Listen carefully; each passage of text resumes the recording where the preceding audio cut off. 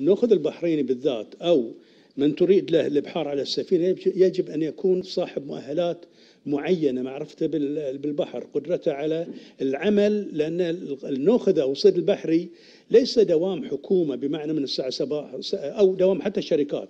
من السبعة صباحا لأربع عصرا أو حتى عشر مساء.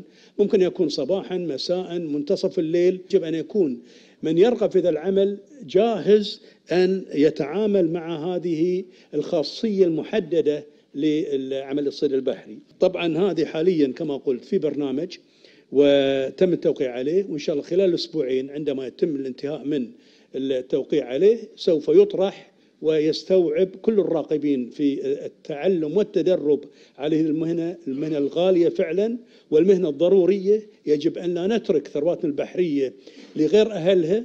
في البحر تحديدا لأن فعلا خلال السنوات الماضية تم تدمير البيئة البحرية ربما بنسبة ولا أبالغ بنسبة 90% دمرت البيئة البحرية. يمكن إمكاننا أن نؤهل أشخاص ربما خلال شهرين أو ثلاثة أو أربعة واللي يكون على سبيل المثال.